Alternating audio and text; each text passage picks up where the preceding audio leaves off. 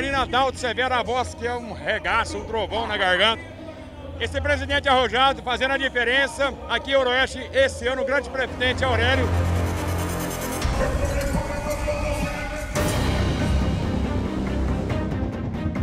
Ok, já uns 25 anos de carreira para 30 já, né? 27 anos, Vaguinho. Tá vendo? Tô 27 sabendo. anos, com muito orgulho e satisfação estar aqui em um dos maiores rodeios de todos os tempos da cidade de Ooroeste, no comando desse grande presidente, meu amigo Aurélio, a prefeita Lívia, realmente está de parabéns esse programa seu, Vaguinho, do SBT.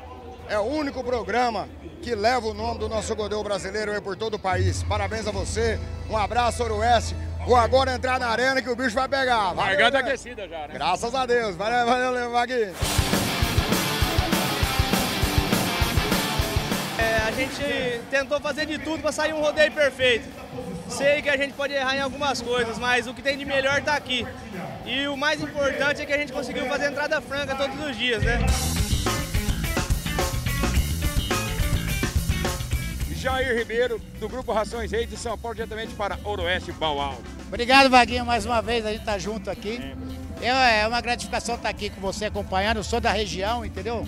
Fui para São Paulo ainda muito jovem, mas eu gosto muito daqui da região e você apresentando a gente aqui é fantástico. Você está acompanhando todo esse sucesso da Baual também, nossa, aí no mercado e acompanhando os rodeios, né, que é muito importante e a Baual poder ajudar na medida do possível também. Estamos fortes aí para poder a marca fortalecer e ter o benefício até para os municípios aí para poder ajudá-los, as pessoas que mais precisam da ração para o seu animal. Até porque aí, muita gente que gosta do rodeio, que assiste rodeio, gosta da música sertaneja, são clientes da Baual, ué. Com certeza, a empresa tem gado, é é isso aí.